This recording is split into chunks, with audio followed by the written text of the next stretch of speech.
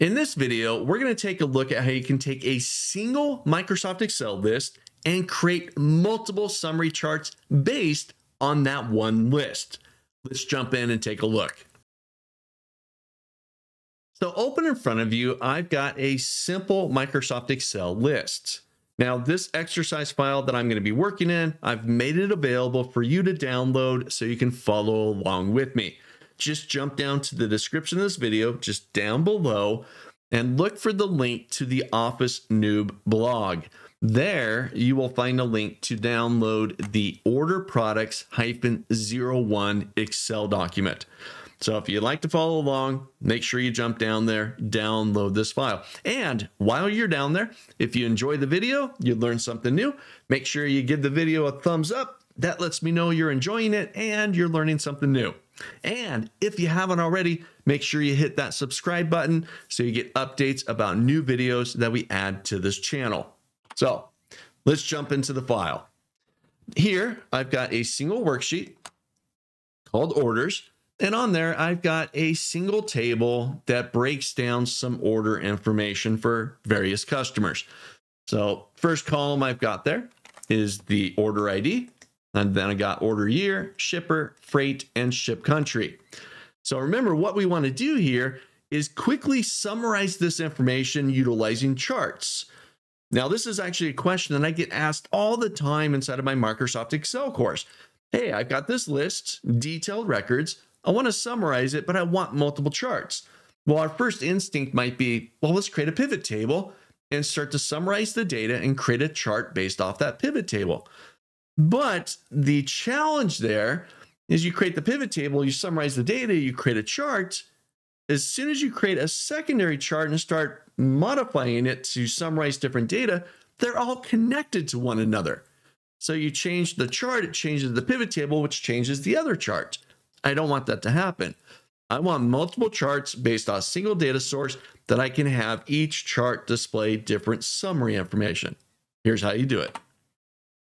So our first step, and this is a very important one, is we need to format our list as a table. This is step one. So I'm going to go up to my home tab, make sure I'm clicked into my list somewhere. On the home tab, I'll go over to format as table and you can pick your flavor, whatever you want here, doesn't matter.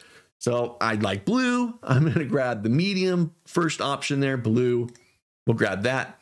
Got my range A1 to E319. My table does have headers. Check, check. And I'm going to hit OK.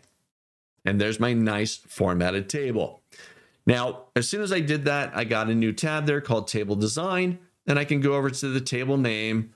And I'm going to call this TBL Orders. It's a table. I'll call it Orders. All right, now that's important as well because we need to reference that inside of our pivot charts. Now, once it's formatted as a table, I'll then go to my Insert tab. I'm going to go over to Pivot Chart, hit the lower half, then I'm going to create a pivot chart.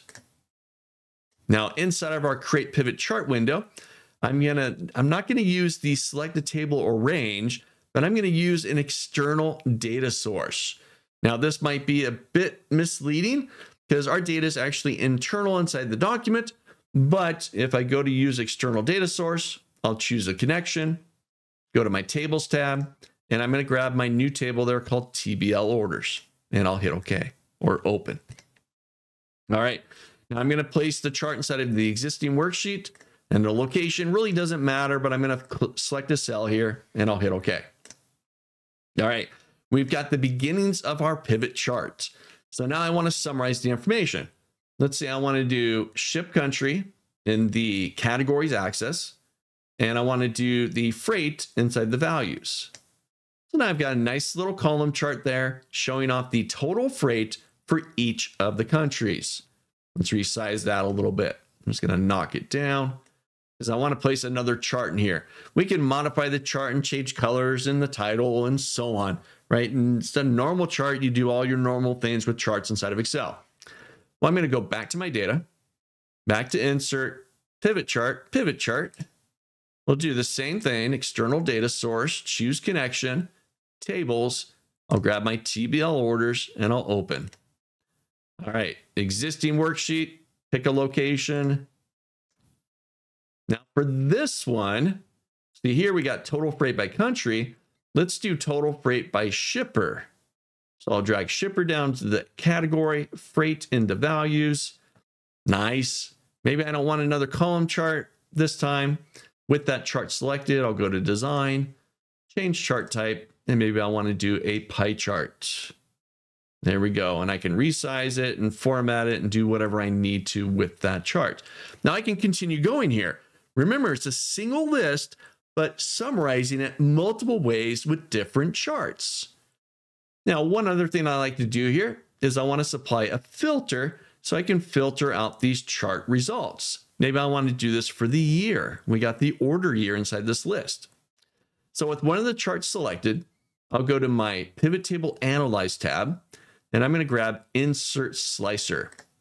Now for my slicer, I get to pick from the valid field headings. I'll grab ship.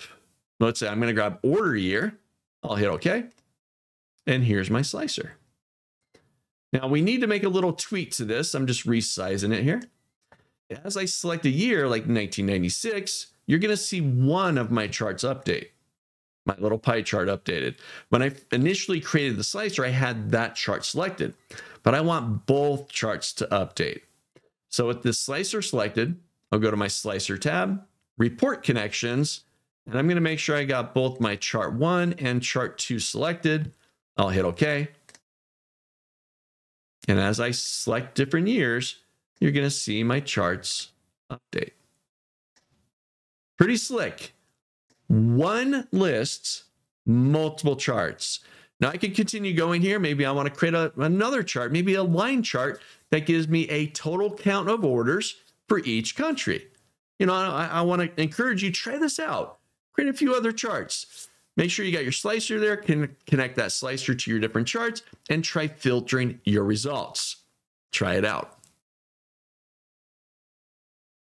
So just like that, taking a single list and summarizing it with multiple charts.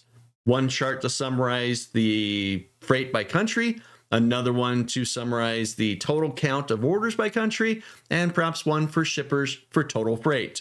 And we can throw in the slicer to do a little bit of filtering in there.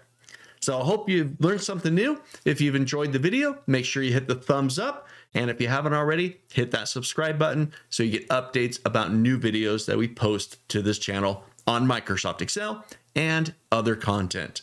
So jump in there, try it out, create your charts. And until next time, I'll see you in the next video.